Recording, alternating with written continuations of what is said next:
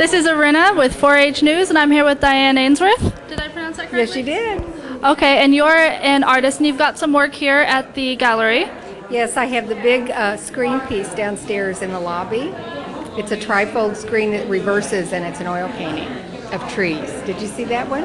I didn't see the reverse, but I did see the big screen. Okay, you'll have to go to the other side because the big screen is trees, and I painted them from the trees across the street where I live on Jacob Miller Road, looking up at them. So it, it goes up at a, at a vertical um, perspective, and there wasn't room for the top. So on the reverse side, I painted the sky with the very tops of the trees.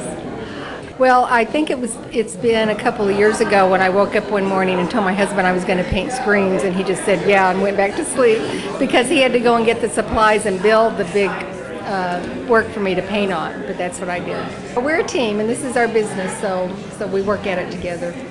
Okay, and the one thing I haven't asked the other artists is um, so you make a living as an artist. Yes, I have for about 25 years. Okay, and I hear that isn't really easy. You know, you get the stereotype of the starving artist. Uh, that's very true. So, how does that work? I mean, do you have to start your own business, or do you just?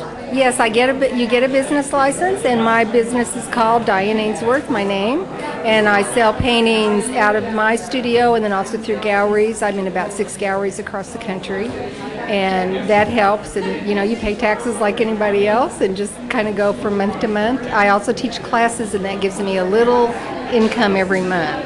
What other galleries are you in, and where are they? I'm in uh, in Port Townsend. Besides this gallery, I'm in Earthenworks, and then in Anacortes at the Scott Milo Gallery, in Bainbridge Island, Roby King, and then Taos, New Mexico at the Grimshaw Fine Art, and uh, Atlanta, Georgia, and Irwin Fine Art. So those keep me busy.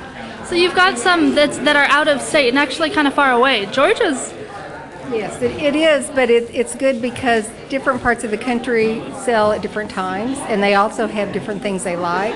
So I paint what I want, and then I send them, and we move them around if they don't sell in one spot or another. So, what do you like best about being an artist? Uh, probably the freedom to really do what I want to do, and I feel so fortunate to make a living doing what I want to do, and that that's success. Even though some months it's really hard to buy the groceries and you worry about all those bills, but at least I'm doing what I want. Do you have any advice for starting artists who want to make their living just doing art?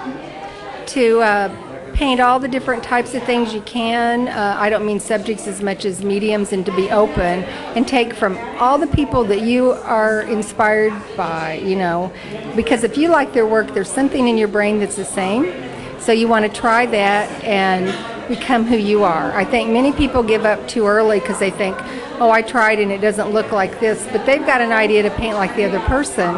And you have to do it long enough to get your own style. It's like handwriting in grade school. You know, when the teacher says, this is the way you make a Y, and everybody writes alike, but then later you write with feeling and your own style, and that'll come through in painting too. Definitely. Thank you so much for talking with me. This is Arinna Pongrey with Diane Ainsworth with 4-H News.